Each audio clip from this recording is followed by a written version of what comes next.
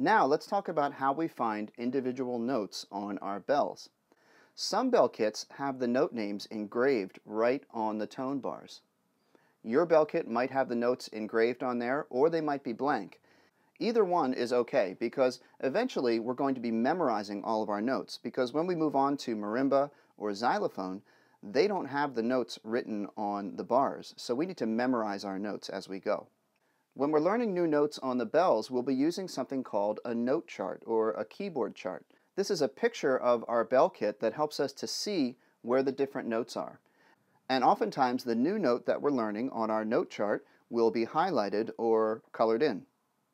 Let's use our note chart to find the note D. On our music staff, D is written just below the bottom line of the staff. And you can see from our chart that the note D on the bells is located right below and in between these two upper keys. So find this pair of keys in your upper row and go to the key right in between them, right here. That is a D. Let's play that D with our right mallet. Now let's find the note C. Looking at our music staff, we can see that the note C is a little bit lower than the note D, and it's written with one ledger line crossing through it. Looking at our note chart, we can see that the note C is the bar directly to the left of our note D. So using our pair of two bars here on the upper row, we found our D right here in the middle, and we're going to go down one to the left, and there is our C. Let's play this note C with our left mallet. Center your mallet right in the center of the bar and tap it lightly. Now let's find the note B flat. B flat is written below one ledger line on the music staff. So it's actually lower than a C. So we're going to be going in this direction. Lower is to the left. We can see from our note chart that B flat is in the upper row of keys, our flat and sharp notes, and it's right here the top note of this group of three here at the bottom. Let's play B flat with our right mallet.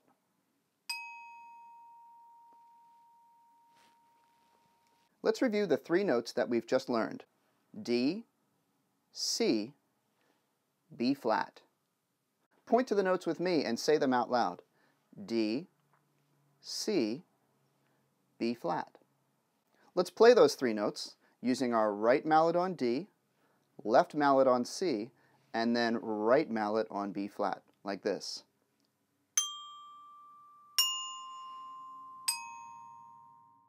If we sing those three notes on our solfege, it's mi, re, do. Can you point to your notes on your bells and sing along with me? Mi, re, do. Let's play that.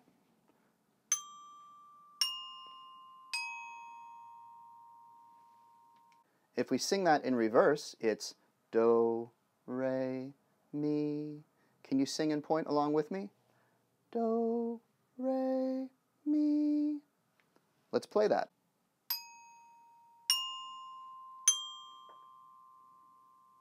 In our next lesson, we're going to use these three basic notes, D, C, B flat, to play our first song, Hot Cross Buns.